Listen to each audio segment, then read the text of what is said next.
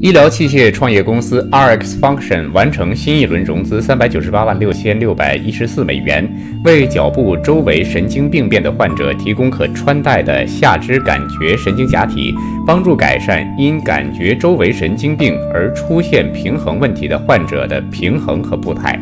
根据归心社的报道，生物技术孵化器 Viridian。Therapeutics 完成新一轮融资两千七百万美元，建立新创业公司的投资组合，发现能够改变疾病的新分子，减少疾病的临床和经济负担，并改善患者的生活。建立虚拟的药物，并发现创业公司追求以产品为中心的药物发现假设。Viridian 还研发出了一种方法，利用经过验证的科学发现，快速有效地发现差异化新分子的平台。圣地亚哥生物技术公司 Molecular Assemblies 完成新一轮融资两百七十九万五千三百八十六美元，致力于开发一种革命性的酶促 DNA 合成技术，能够为工业合成生物学、个性化治疗、精确诊断以及最终的信息存储。纳米技术等新产品提供动力。受自然界的启发，公司专有的 DNA 合成方法旨在可靠、经济且可持续地生产长序列、高质量、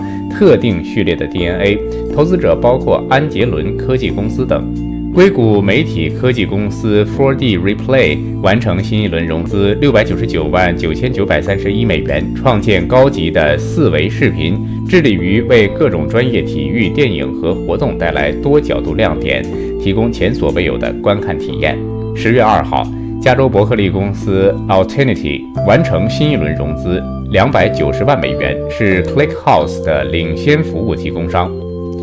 十月二号，华盛顿州的创业公司 Leader 完成新一轮融资三百六十二万五千美元，开发第一款专门用于在组织的各个级别培养领导者的人力资源管理软件。图数据库平台 Neo4j 完成新一轮融资。